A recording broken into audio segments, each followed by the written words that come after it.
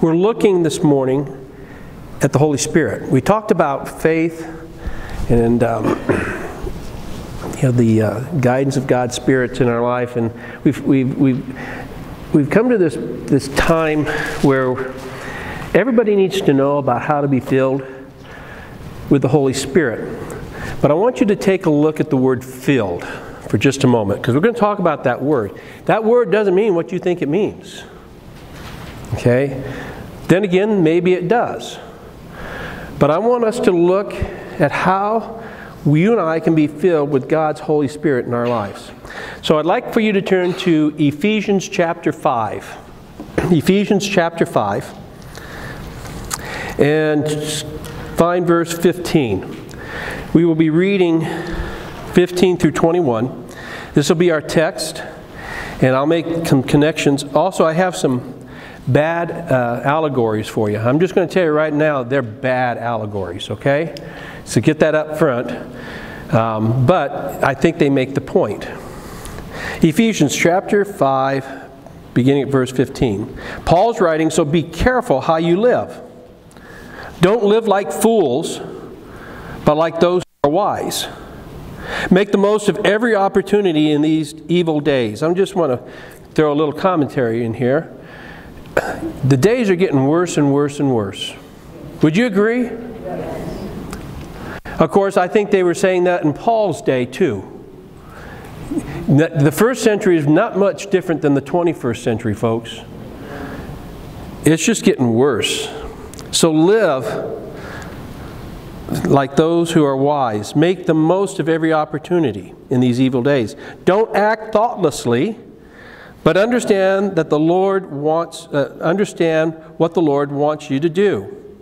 Don't be drunk with wine, because that will ruin your life. Instead, be filled with the Holy Spirit, singing psalms and hymns and spiritual songs among yourselves and making music to the Lord in your hearts and give thanks for everything to God the Father in the name of our Lord Jesus Christ. And further, submit to one another out of reverence for Christ.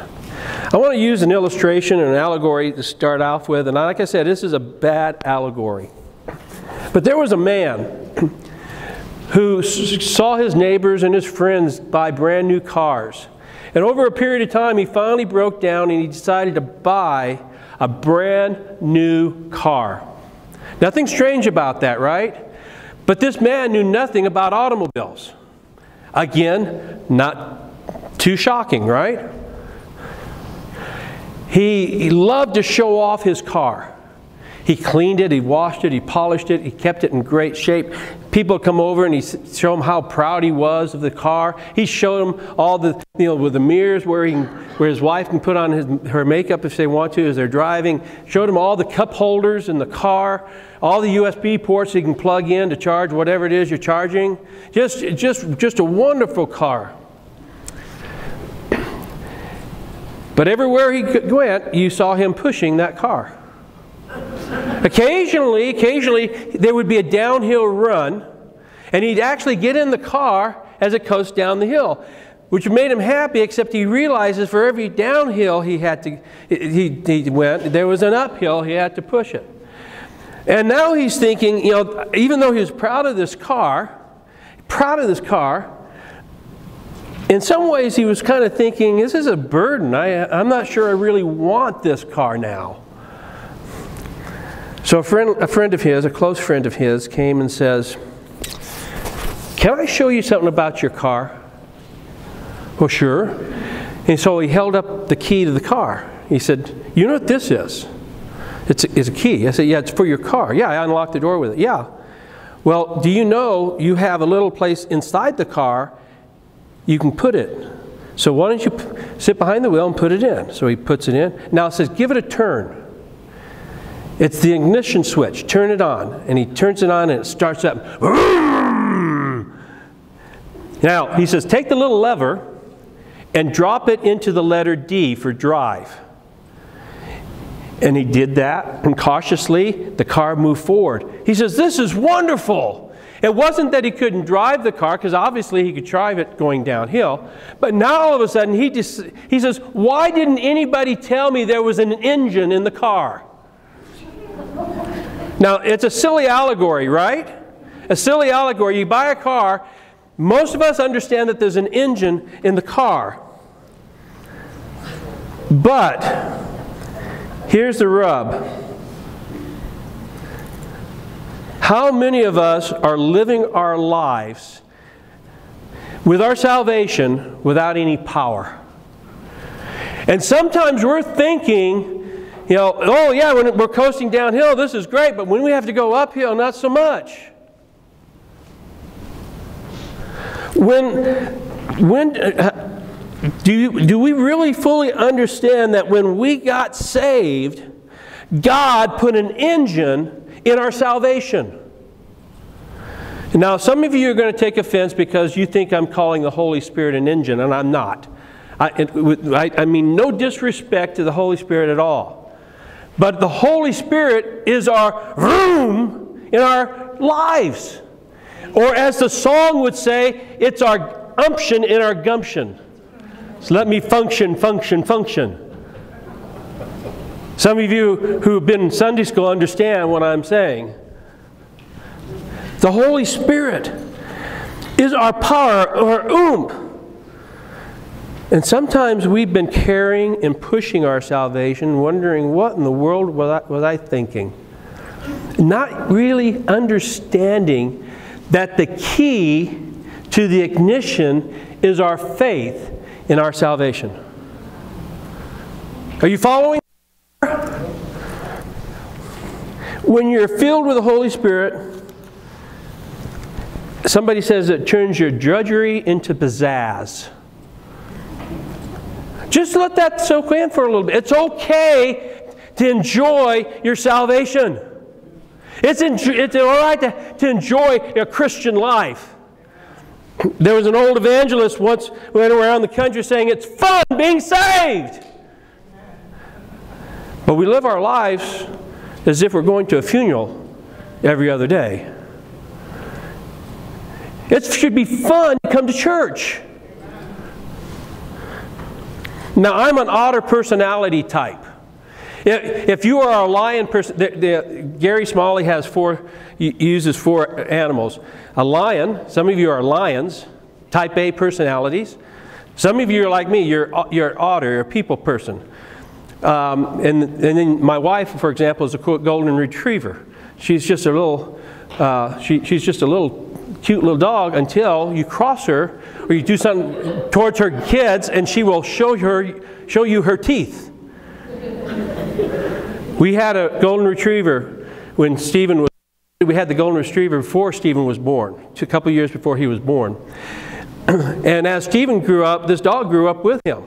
And one day, as she was trying to get him ready to go and get him all dressed up and everything, he got, she got him together and then she got herself together. And while she was getting herself together, the little boy decided he was going out the front door. The front door of our house. And out the front door he went. And right beside him was that precious little, cute little golden retriever. And he's walking down the street. One of the neighbors notices. So he, she walks up to, to St- Stephen to try to bring him back to the church. The dog would not let her anywhere near Stephen. She had to coax Stephen to come along, and she kept her distance from the dog. That's my wife. But some of you are lions, and, and, and I'm, I'm an otter. And you know what otters like to do is tease lions. We get, we get, you, you got, you know, the lions are very focused, very, very uh, goal driven, and work comes first. Me, I have to find the play in the work to get the work done. But nothing thrills me more than to try to play with a lion who's trying to get his work done. Some of you are married, some of you are lions, and you're married to an otter. That should be a fun household.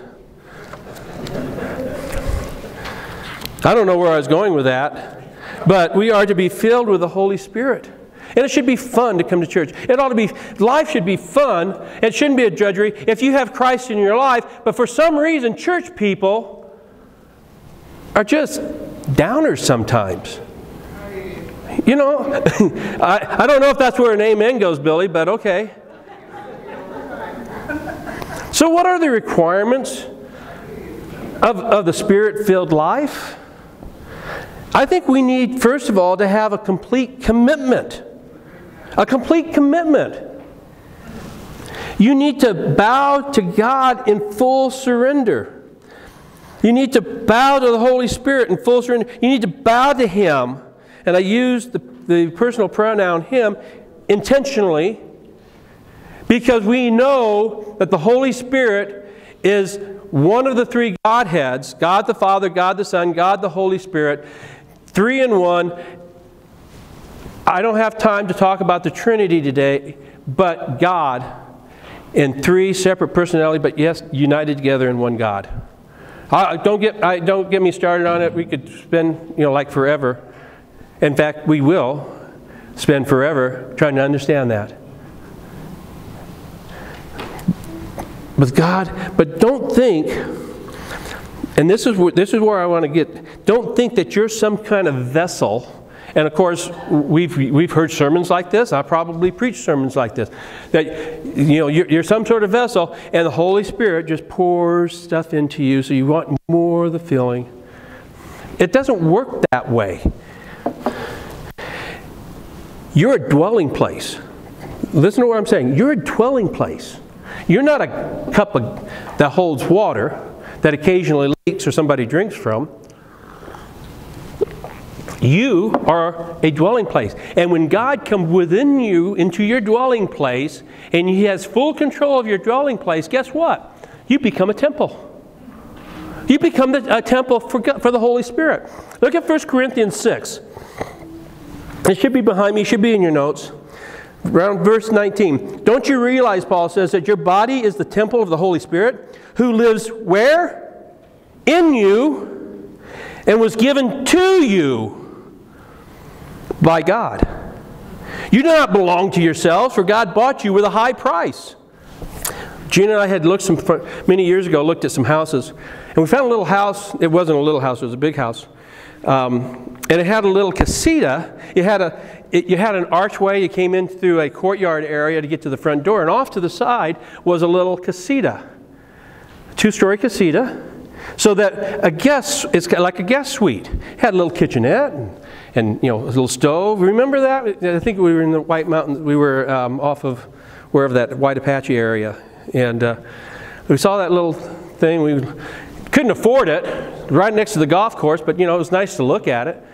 But imagine having a home where you have a, a place that a guest in can come and stay, and it's actually a suite. Here's your, here's your, here's your room. This is, here's your little kitchenette. There's, here, there's your bath and your towels. And, uh, make yourself at home. And in fact, here's the key to the house and to, to, to the casita and to your house. This is to my house. This is, this is your key. Here's another key for the extra car in the garage if you need to go someplace. Feel free. Obviously, listen, mi casa es su casa. Right? We want to be hospitable. But you say, you know, I'm gonna, I've got to go to the office, get some work done. I'll be back in a few hours. But make yourself at home. Anything you need, anything you want, this is your house. My house is your house. So you're gone, you come back, and you're looking for your guest, and he's nowhere to be found. Not in the casita, not in the living room, not in the, not in the family room. You find him in your bedroom, going through your papers He's been in your study, going through your mail. And so you kind of you kind of shock and you kind of clear your voice and you go, "Can I help you?" He goes, "Oh no, I'm fine. I just didn't know you made that much money." Oh, and by the way, I, was reading your journal. Some of these entries, dude, I don't understand. What are, what's going on? And, and as you you feel your temperature rising, and you feel very invaded,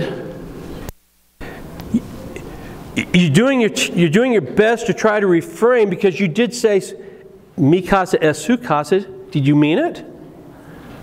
No, we don't mean it. There, we, got, we got places that is ours and nobody else. Listen, you are, once you come to God and you, you, you, you come to Him with total commitment, you are saying, I'm no longer myself. You, I am your dwelling place. I'm your dwelling place. And by the way, he already's been through your journal several times, and he knows more about you than you do. But here's what we do with the Holy Spirit. Hey, we've got this nice little place for you. Now you just stay over there. And this room over here, this room over here, you don't want to go in that room. That's my junk room. That's where, that's, that's my room.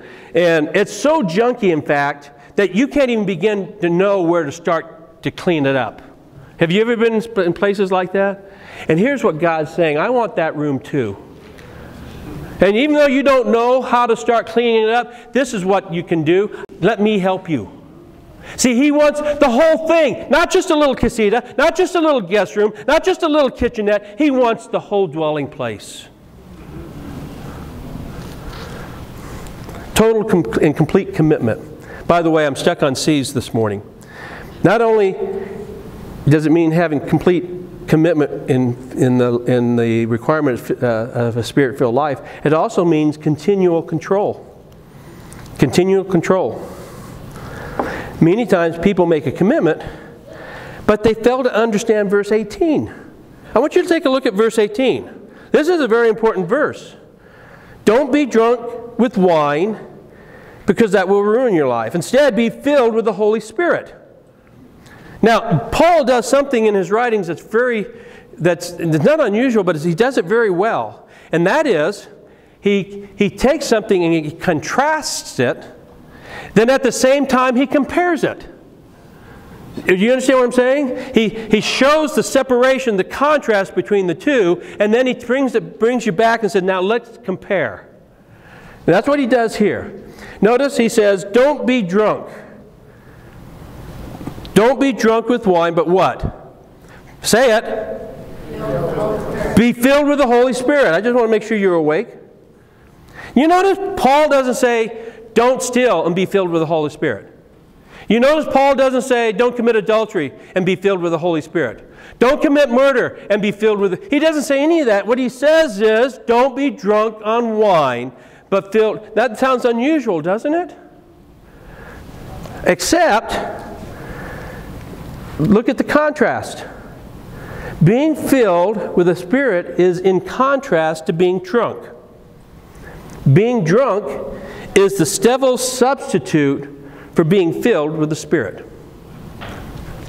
You go, oh, so I can't drink? That's not what I'm saying. I'm saying don't be drunk. Here's the thing when you are, if you are drunk, if you've had a few too many to drink and you get in your car and you get stopped, you are driving what? Under the influence. Your control is not yours anymore. You are being controlled by a different influence in your life. You following me so far? Under the influence. He says, Don't be drunk with wine, but be filled with the Holy Spirit. You notice when somebody's drunk, their speech pattern, their thought pattern, their walk, their talk, their thoughts are, are changed. They're changed. But in comparison, don't be drunk, be filled with the Spirit. Let God control you. Let God let be under the influence of the Holy Spirit so that your walk and your talk and your speech and your, your thought patterns are different. That's where an amen goes. You know, here, here's our problem. There's too many of us. I, I'll tell you what, I'm going to come back to that. That's contrast. Here's the comparison.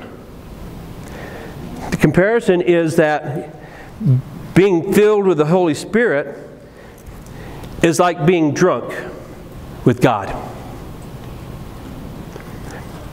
Also, let me ask this, this how does one get drunk and stay drunk? Now, I know none of our deacons know this, but that was a joke. How do you get drunk, drunk and stay drunk? Anybody have a clue? I'll tell you. You drink and then you keep drinking. Right? You need to understand what Paul is saying here. The Greek, we have no English It's poor grammar, but in the Greek it says, be being filled. Be being filled with the Spirit. In other words, one single drink, yeah. But if you want to get drunk, you drink a lot, and then you keep drinking to stay drunk. God is saying, and Paul is saying here, don't be drunk with wine, be drunk with the Holy Spirit. Keep, you know, drink and keep drinking of God's Spirit in your life. And here's my problem. This is what I was going to say. Some of us Christians who are Bible believing Christians and church going people who are so loving, we get, so, we get sobered way too quick. We get sobered up way too quick when we're talking about being drunk in the Spirit. Now, I don't mean to offend you, I don't want to offend anybody here. But it talk, it's all about control. It's all about commitment. Give God control. Be committed. So, for, like I said, we are to be being filled with the Holy Spirit. We are to have continual control, continual commitment. Also, if we're going to be filled with the Spirit, we need conscious claiming. This was I had to really stretch for this conscious claiming to stay with the C's. Conscious claim, but it basically means doing something intentionally. Being filled is a complete commitment, continual control, and a conscious claiming. You just you just claim the Spirit of God in your life. How do you come to know God as your personal Savior? How do you come to know Jesus as your personal How do you get salvation? Don't you just claim it? You confess your sins this is easy. You confess your sin. By the way, confessing is nothing more than agreeing with what God already knows anyway. Okay, He already knows about it. He, that thing that you don't think anybody knows about, God knows about. Just confess it. Might as well. Repent, that is, turn from what you're doing to turn to someone, which is Jesus. And you, you allow, you, you trust and claim God's salvation in the gospel of in Christ. And then we wait for some sort of infilling. Uh, we go to prayer meetings. We, we have folks that, and, and, and please, I'm going to be, I, I don't mean to be derogatory here, and I certainly don't mean any ill will. But Paul tells us, I don't care what kind of things you think you have, what kind of spirit you have. If you don't love, you're nothing more than a resounding gong or a clanging cymbal, cymbal something that's annoying. God has gifts to give, and we're going to be talking about that soon. We're going to talk about the gifts of God. We're just talking about getting God in, in your life, in your dwelling place. One of the Godheads in your dwelling place. The Godhead of the Son saves you. Now you got to you got to live a sanctified life, and do that you have got to have God's Spirit in your life, and you do that by claiming the Spirit of God. You claim that Jesus as your Savior for your salvation, and you also claim the Holy Spirit in the same way. It's not a matter of feeling. It's not a matter of feeling you have the Lord Spirit, uh, the Holy Spirit in your life. It's a matter of faith. It's a matter of filling. Remember, it's not a it's not a vessel, something you're born. It's a dwelling place that inhabits you. You, you follow me? It reminds me of Men in Black. You know, the, the, the creature from outer space puts on a, a on a cheap Edgar suit. You know, Hager, play on words. You, you, some of you know, so, and some of you are laughing. You know, it, it's about an indwelling, an indwelling, a continuous claiming. You take it by faith. Once you've made a complete commitment, a fully surrendered every key every key, every room, you have the right then to proclaim the gifts of the Spirit. Remember, God desires for you to fill, he, he, he, he, His desire is to fill you with His Spirit. To that's His desire. And He promises to do that. In John chapter 7, Jesus stood up and shouted, if you are thirsty, come to me and drink. Let me illustrate what we do here sometimes. I, I, did, I did some baseball games Friday and Saturday. I came off Saturday. I was, I mean, it's, it's, it was pleasant in Phoenix. It was only 100. It was very pleasant in Phoenix. I drank four gallons of water, literally four gallons of water in two days, plus some electrolytes. I I'm still thirsty today. So I got a glass of water here. You know, you're thirsty. I'm thirsty. Boy, that looks good. I know it's purified water. I know it's clean water because Gypsy got it for me. And he wouldn't put anything bad in it. Much.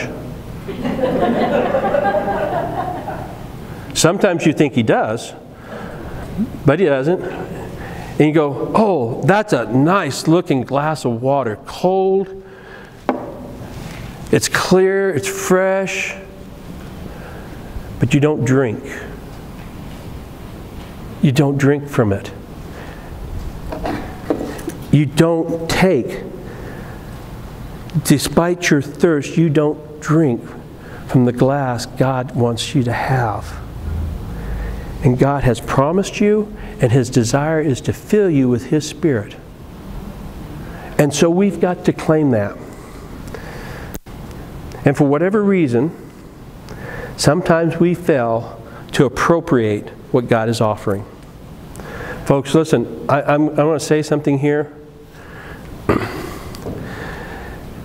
if you have Christ in your life, if you ask Christ to come and save you, you, you should have the Holy Spirit in your life.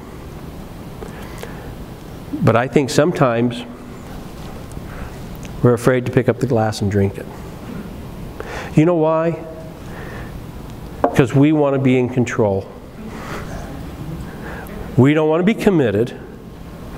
Therefore, we don't claim it. And then we wonder, why don't I have an infilling of God's Spirit in my life? Well, how do I know I have God's Spirit in your life? What is the result of a Spirit filled life? Right? Look, look at this. Look at the next slide here. Ephesians chapter 5. This is part of our text.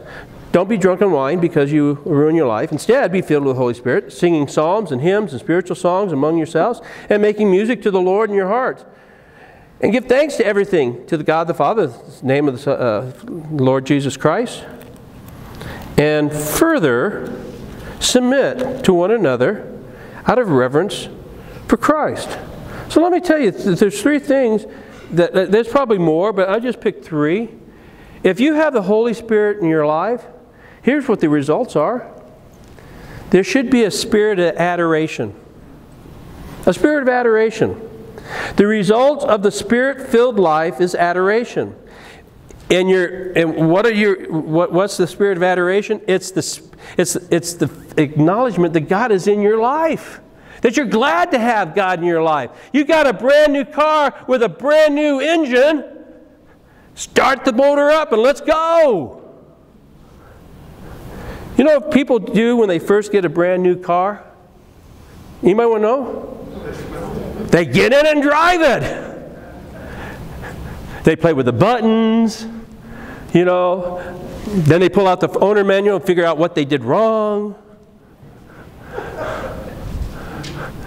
The, you know, you, you know the, the, the owner manual, the destructions.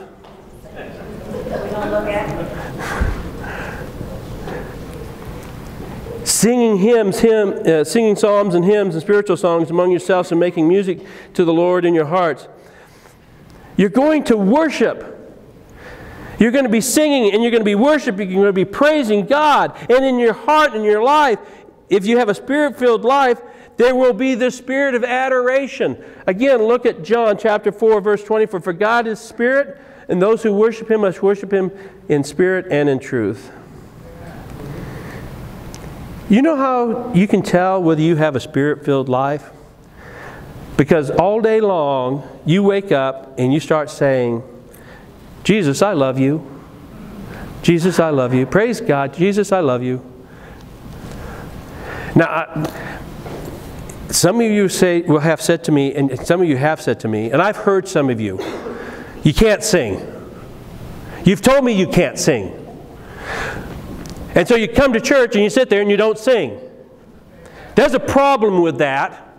Because, first of all, if anybody's listening to your, your singing, then they're not singing and they're not praising either.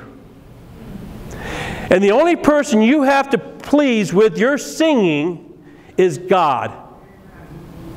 And God is easy to please. In fact, He doesn't care if you can carry a tune in a bucket. And by the way, I don't even know what that means. Carrying a tune in a bucket, I just don't, it just doesn't, that, that just doesn't sit well with me. I just don't understand.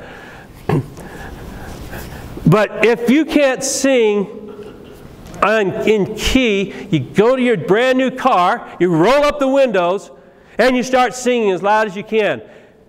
And watch people stare at you as you drive down the road. it is the greatest thing in the world. You don't have to be a good singer to praise God. You don't. There has to be, there's, there is this sense that your life is now a temple that God resides in. And so the song that you are singing is not your song anyway. It's a song that God has placed in your heart because He's placed a new song in your heart. That old drinking song is gone, and this new drinking song has arrived. Be filled with the Holy Spirit. Are you following me here? Okay. Psalms 40, verse 3. He has given me a new song to sing and a hymn to praise. Two, there's a spirit of appreciation. In Psalm in Ephesians 5:20, and give thanks for everything to God the Father in the name uh, uh, in, in the name of our Lord Jesus Christ. A spirit filled Christian is not grumbly hateful. Listen to me. A spirit filled Christian is not grumbly hateful, they are humbly graceful. You get, you get the difference? Get the difference? A spirit filled Christian gives thanks. Now, not just sometimes, not just part of the times, but all the time. And I, I will confess to you, there are some things just, just aren't good in our lives. Things happen. Things happen. Can I talk about Stephen for just a minute? He's not here. I get a phone call from my wife. Stephen's got a problem. Okay, I know what the problem is. Anyway, he had a dead battery. Nothing is, you know, today your, your battery doesn't drain little by little. You just wake up one morning, you go, and it just don't start. Right, John? In, these, in this day and age, you just get, it doesn't start. And so, you know, he had to go through the trouble of putting a new battery in his car. That's not fun. Nobody wants to spend $300 or $250 for a battery. Uh, by the way, side note, if, if a car battery that starts your car only lasts three years, I wonder how long a battery who is, which is an electric car lasts. I don't know. But anyway, that's, I, I digress. Is that too political? Anyway, moving on. Appreciation. Even though things don't work, work out right, and even though things aren't working out right, that's no reason not to be grateful. It really isn't. Because I am a temple of God. God's Spirit's living within me. I may not like the situation I am, but you know what? God is bigger than that situation. I don't have to worry, I can pray. You know that, you, you, you've heard this before, right? You can't worry and pray at the same time. Try it. You can't do it. One more thing. If you have a feeling, a, a spirit-filled life, you have a spirit of adoration, you have a spirit of appreciation. Folks, you also have a spirit of accommodation. Ephesians 5 20. And further, submit to one another out of reverence for Christ. Whoa, whoa, whoa. I hear the guy, I can already hear the guys saying, no, no, no, no. Paul says for the wives to be submissive to the husband. the problem with that is when he gets done saying, he says, we are to be submissive to each other. See, we don't read far enough. Right? This is not a woman's thing. By the way, when a husband is submissive to the will of God, your wife will be with you. Right? Ladies, am I right? You have a man of God submitting to the will of Christ, treating you like Christ treats the church. Trust me, guys, you're in like Flynn. Whatever that means. Appreciation. There's no way that you can be, uh, you can do you can be submissive with apart from the Holy Spirit in your life. When, when you praise God in bad circumstances, that doesn't mean you approve it. Whoop, I've, I've dropped back up, dropped back down. Have you ever heard somebody say, or perhaps you have said, I know my rights. I have rights, and I know my rights. Whoa, whoa, whoa, whoa. You know what? You have a right to go to hell. Or you can have Christ in your life and go to heaven. That's your choice. But let me ask you this what right or what rights does a dead person have? We are to be dead in our old self and raised to a new life. We are buried with Christ in baptism, raised to walk in newness of life. Jesus says on a daily basis crucify yourself, pick up your cross, and follow me. What rights does a dead person have? Somebody wrote, and I wrote this down show a person their rights, and you have a revolution. Teach a person their responsibility, and you have a revival. Isn't that true? So many of us are Christians want a revolution. Instead, what we need to be is submitting to one another through the power of the Holy Spirit so that we can bring about an acknowledgement of our responsibility as Christians to bring about a revival. We could be that catalyst for revival if we would just be submissive to the will of God and submissive to one another. You and I need to really work and learn to love each other and submit to each other out of fear of the Lord. You see, I don't submit to you, I submit to God. I submit to God. And you submit to me the same way that I submit to you. You submit to God. You, you following that? How wonderful to be around spirit-filled brothers and I mean spirit-filled brothers and sisters who have learned about this spirit of accommodation. I'm going to brag on you. Don't get a big head because the doors aren't big enough for your head to go through if you do. Let me just tell you, what I'm proud about our church. We tend to love each other and be submissive to one another. Almost to, we have, we have some things to overcome. Please don't, we're not doing this perfectly. We're not perfect. That's why Christ died for us, right? We're still, when we put the tables down, everybody complained about the tables being put down. A day's coming when we're going to have to pick up the tables and put chairs back down, and you're going to start complaining again. But you forget about the revival that God's bringing about. Do you understand? The more people we have here, the more we grow and the more we reach people for God's kingdom, not our church, God's kingdom. If this church will grow if we're reaching people for God's kingdom. We don't worry about church growth, we worry about kingdom growth. And guess what?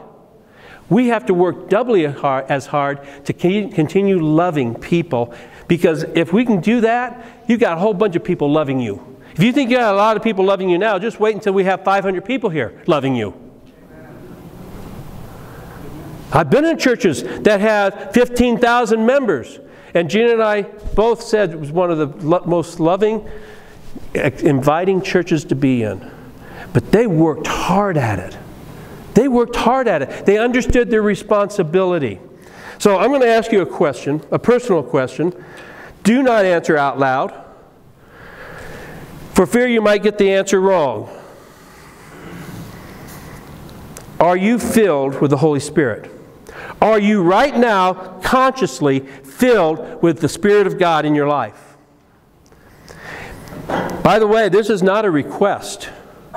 If you read it, this is a command that we need to obey to be filled, to be being filled with the Spirit of God. When you are filled with the Spirit, do you know what you'll find? Do you know what you'll find if you're filled with the Spirit of God? you will find a beautiful car with the, the best engine ever. You don't have to worry about pushing it anymore. But you cannot be filled with God's Spirit if Jesus is not a part of your life. You understand? So, are you willing to give your heart to Jesus to be filled with the Spirit? Well, Pastor, I did that when I was nine years old. That's me. I, I gave my heart. I gave Jesus my heart.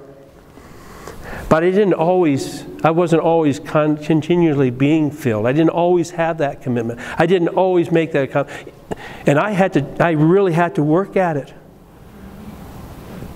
But I didn't have to work at it. It wasn't hard work for me. God had to work through me. I just had to turn, turn, turn him loose in my life.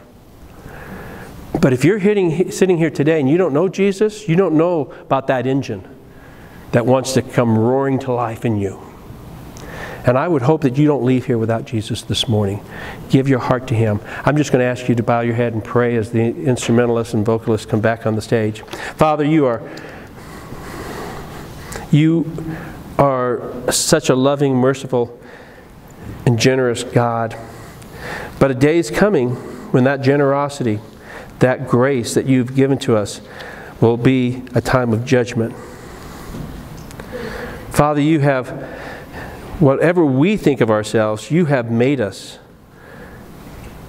And whatever you make is not junk.